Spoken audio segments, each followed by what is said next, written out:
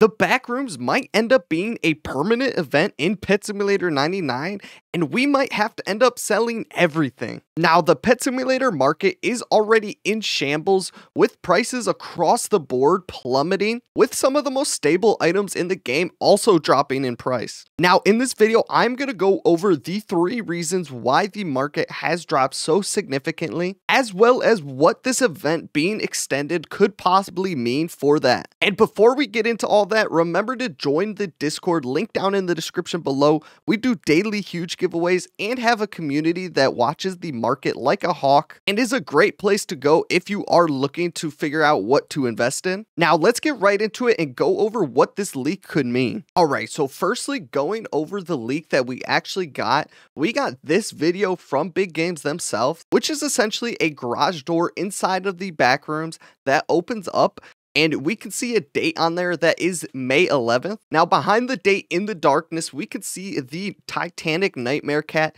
in the back there being very creepy. So I'm not sure if the Nightmare Cat is something that's actually going to be in the update or this is just the theme that they keep going with for this whole backrooms event. But potentially they do make the Nightmare Cat chase us around the backrooms for this new little extension part of the update. But all we know at the current moment is that this seems to be some sort of garage themed extension to the backrooms that we already have in the game. And that seems to be what is going to be the focus of this new update coming coming Saturday. And prior to this leak, we had thought that this Backrooms event would only be lasting for this week only. So it seems that we are actually going to be getting a pretty significant extension and this could possibly mean that the backrooms is just going to keep getting expanded on and be a permanent part of the game. Now, I'll talk more in a second about why this could possibly not be the case, but we truly just do not know yet. This is completely up to big games at this point, and they are probably still deciding based on how the community reacts to this new update. Now, clearly, they have seen a lot of success due to the backrooms pack, so I think anything that allows them to extend that pack being available will be very beneficial for them and is why I could see that they do keep increasing the length of the event. Like, look at this guy. You're telling me this guy right here would not make the backrooms a permanent part of the game? Well, that one's going to be up to you guys to decide. I'm going to get out of that room because it is super creepy. Now, two updates ago, I'm pretty sure is when we did get a refresh to the original Forever Pack. So I do not think it's out of the realm of possibilities that this week we do get a refresher to the Backrooms Pack. So that big games can get people to spend even more money on this pack. Maybe they'll potentially add some new things to this pack so that it gets people trying to gamble and get more of this stuff. Or even potentially they could be putting in some sort of backrooms exclusive egg, but I don't necessarily think this is the case because they have found a ton of success with this black hole egg, and there are still a ton of people buying it. There are already more black hole axolotls in existence than the sketch cow in pretty much half the time that the sketch egg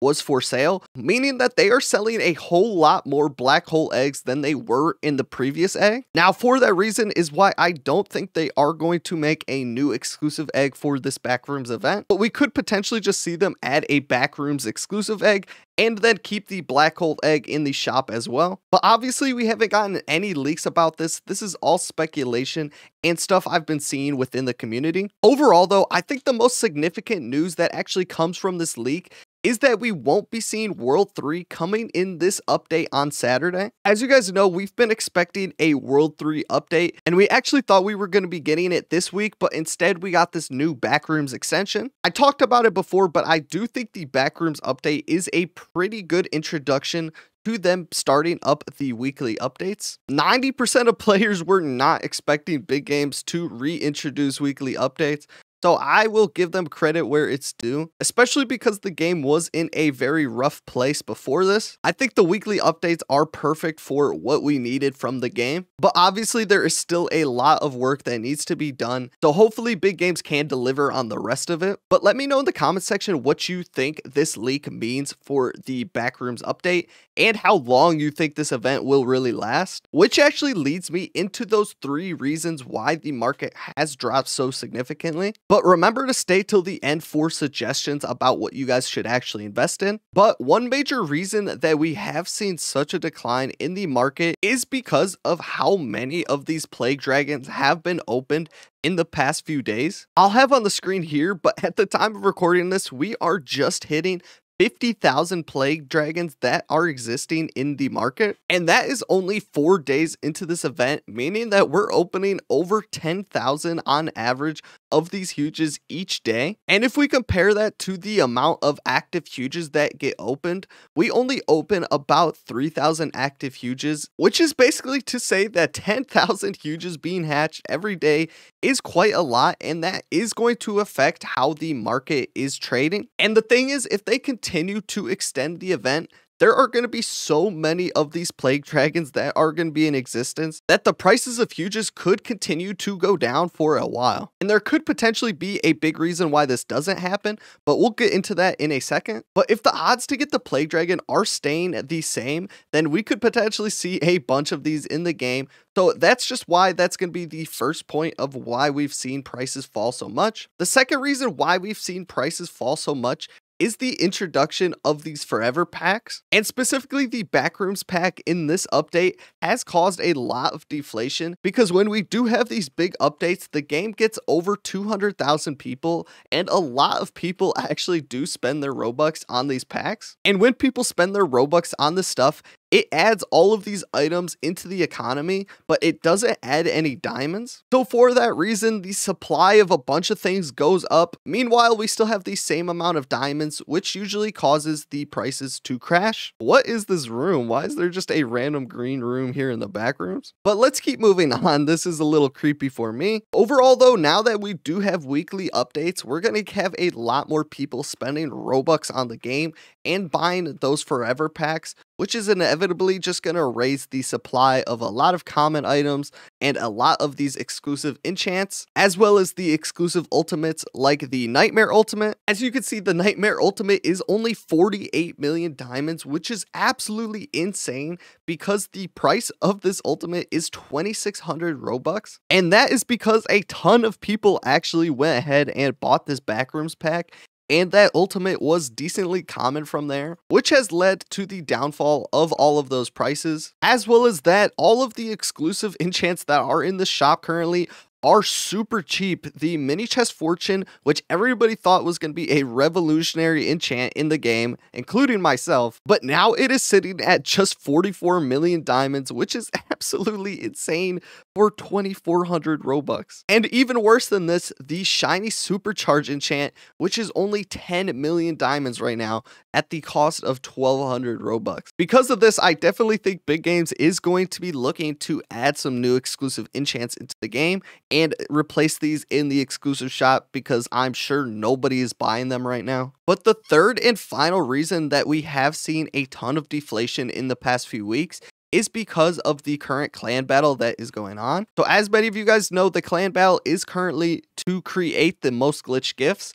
So people are combining those cores that you get from grinding the regular area, and whoever is able to make the most is going to win the clan battle. Now, what this means is a ton of the top clans are spending a ton of diamonds to buy these cores from everybody they can so that on the last day they can combine as many of those glitch gifts and tried to win the battle. Now, what this means is that a lot of those top clan members are not going to be spending their diamonds in the trading plaza leading up to this event. The only thing they're probably going to be buying are these cores, which is just another reason why the market has slowed down so much and why deflation has taken such a toll. But keep in mind, the clan battle is ending this Saturday, so we could potentially see some inflation take over after the battle. But obviously there's a lot of stuff going on, so we're going to have to see how the market actually reacts. But the fact that the clan battle is ending is a potential sign that we could see the market shift in a different way than it has been so far. But let's go hop into the trading plaza and I'll show you some of the stuff that I am buying and current flipping methods that are still working. All right, you guys, so we're here on the Glizzy.